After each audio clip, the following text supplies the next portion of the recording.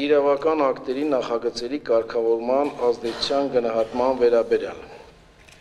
2016 թվականի մարտ ամսին կառավարության կողմից հիմնադրվել է օրենսդրության կարգավորման ազգային կենտրոն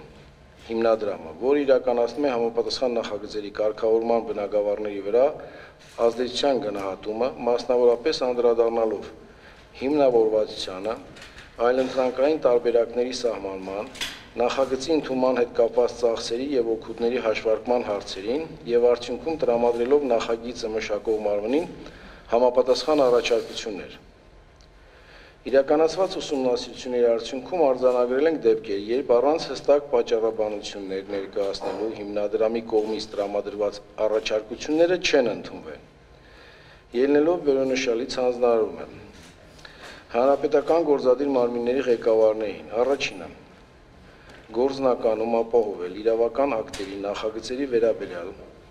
կարգավորման ազդեցության արդյունքում ներկայացված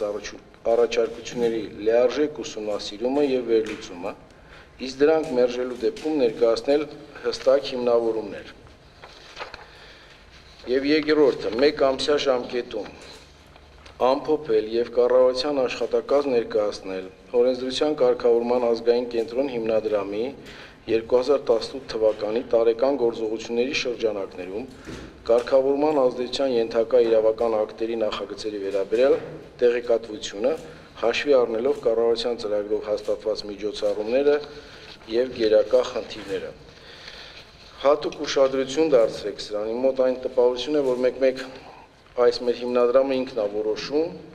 չունենալով պատվերներ, քանի որ պատվիրատուն մենք ենք, ստեղծել ենք մի օղակ, որը պետք է բոլոր այդ ռիսկերը գնահատի, համապատասխան վերլուծություն տա, ըստ դրա մենք որոշենք ճիշտ ուղղությամբ են գնում թե չէ։